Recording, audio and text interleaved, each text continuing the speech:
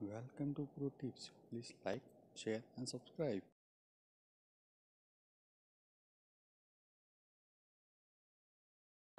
जो अच्छा लग रहा है वो अच्छा लग रहा है। जो बुरा लग रहा है वो बुरा लग रहा है। अब देखते हैं बाज़ार कैसे बिहेव करेगा। अच्छा क्या लगा था? टीसीएस के नंबर अच्छे लगे थे। अच्छे लगे थे इसमें कोई शक नहीं है। आ, जिस तरह का जायंट है हम उसको ऐसे नहीं कंपेयर करना चाहिए कि इसके कांस्टेंट करेंसी ग्रोथ इतनी आई, इसके पीएस की इतनी आई। इसका जो इमीडिएट पीयर है, उसका उससे उसका दो ही तिहाई है। इस तरह का साइज़ रखता है टी से। इस तरह का ह्यूमंगस सा बेस बन चुका है। उस बेस पे वो कहते हैं ना एलिफेंट्स कैन डांस वो एकदम परफेक्ट बैठता है। ये अभी भी इंडस्ट्री लीडिंग ग्रोथ डिलीवर करने का दमखम रखता है। अब कल रिएक्ट नहीं करा क्योंकि टीसीएस अब वो आज करेगा, नहीं करेगा, मुझे तो ये भी नहीं पता। पर टीसीएस ने थोड़ा सा आउट परफॉर्मेंस दिखाया। जब इसके पियर्स ईयर टिल डेट काफ़ी गिरे टीसीएस कम गिरा। क्यों गिरा कम? क्योंकि वो बायबैक ने दरअसल मदद कर दी। बायबैक ने स्टॉक को चढ़ाया नहीं, लेकिन बायबैक ने स्टॉक को होल्ड करने में मदद कर दी अपने पियर्स के सामने। थोड़ा सा आउट परफॉर्मेंस एक इशू है। पर क्या अच्छा था? क्लियर है। सवा तीन परसेंट की Q on Q growth TCS ने जो रेवेन्यूज में लेकर आया, वो बाज़ार उम्मीद से फिर भी बेहतर है और बहुत अच्छा ग्रोथ का आंकड़ा है? सवा तीन परसेंट अपने आप में कोई दिक्कत नहीं है सीजनली वीक क्वार्टर में। टीसीसी ऑर्डर बुक देखिए 11.3 बिलियन डॉलर्स के ऑर्डर कुछ खबर आ गई है। सर पाँच रुपए किलो सीएनजी के दाम बढ़ गए। ये दूसरी तीसरी अरे तीसरी का चौथी पांचवी बार। वो बीच में खबर आई थी महाराष्ट्र ने एक्साइज रिड्यूस करा तो इन्होंने छह रुपए सीधे पास ऑन कर दिया था। हाँ। वो छह रुपए कान काटा था उसके बाद से तो बड़ा बड़ा के बारह कितने रुपए हो गए पता नहीं। महानगर गैस की तरफ़ से आईजीएल लगातार बढ़ा रहा था और ये तो बड़ा मीनिंगफुल जंप है। पाँच रुपए पर के जी अभी पीएनजी बच गया भाई साहब बच गया मैं। घर की गैस यहीं से चलती है।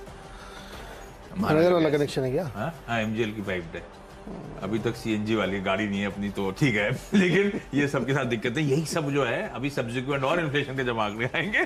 दिक्कतें नज़र आने वाली हैं। ठीक है तो अच्छा टीसीएस का 11.3 बिलियन डॉलर्स की order wins highest ever supply side challenges के बीच में मार्जिन को डिफेंड कर पाना आखिर में कोई खराबी नहीं थी। कोई बहुत बड़ा मीनिंगफुल पॉजिटिव ना भी हो तो।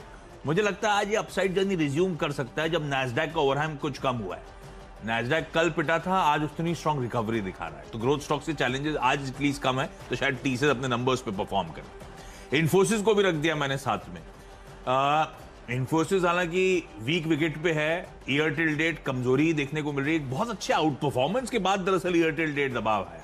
ऐसा नहीं कि स्टॉक पिट रहे हैं, इन्होंने बहुत मैसिवली इंडेक्सेस को बेंचमार्क्स को आउट परफॉर्म करा हुआ है। पर नंबर्स से पहले इन्फोसिस में शायद थोड़ी सी पोजीशन बिल्डअप होती नज़र आए। टीसीएस के इंटरनल्स अच्छे थे और इन्फोसिस ने तो of late industry leading growth deliver करी है।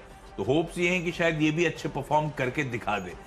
पर टीसीएस आउटलुक ढंग से शेयर नहीं करता, क्योंकि गाइडेंस नहीं देता। इन्फोसिस वो गाइडेंस देता है। तो दरअसल पता चलेगा कि आंकड़ों में कितनी, अभी तक तो क्या सब पॉजिटिव पॉजिटिव सब बातें होंगी टीसीएस के इन्फोसिस एक्चुअल पता चलेगा कितना कन्वर्जन और नंबर्स में आ रहा है। तो गाइडेंस इंपॉर्टेंट होगी, पर ये दोनों नंबर्स के चलते एक पहले और एक बाद में शायद इन ग्रीन ट्रेड करते हुए नज़र आए। तो इन दोनों से शुरू कर रहा हूँ मैं आज की टीम को। दो हैवी वेट्स हैं लॉजिक के साथ देखते क्या होता है इन स्टॉक्स का। एक्सिस बैंक अब ये बड़ा मुश्किल है बैंक्स में आउट परफॉर्मेंस है। कल भी बैंक हरे निशान में इवेंचुअली बंद हुए थे। बैंक्स में आउट परफॉर्मेंस है क्योंकि बैंक्स में सेलेक्टिवली पॉकेट्स ऑफ़ स्ट्रेंथ हैं। कोई एस कोई एक्सिस बैंक ये अच्छा कर रहे हैं। इनमें कोई कंप्लेंट करने की ज़रूरत नहीं है, बहुत अच्छे बाज फॉर्म हो रहे हैं स्ट्रेंथ के साथ मूव कर रहे हैं। तो शायद आज भी ये स्टॉक हरे निशान में रह सकता है। ना भी रहे आज स्पेसिफिकली एक्सपायरी के दिन, पर ये एक पॉकेट ऑफ़ स्ट्रेंथ है बैंक्स में जो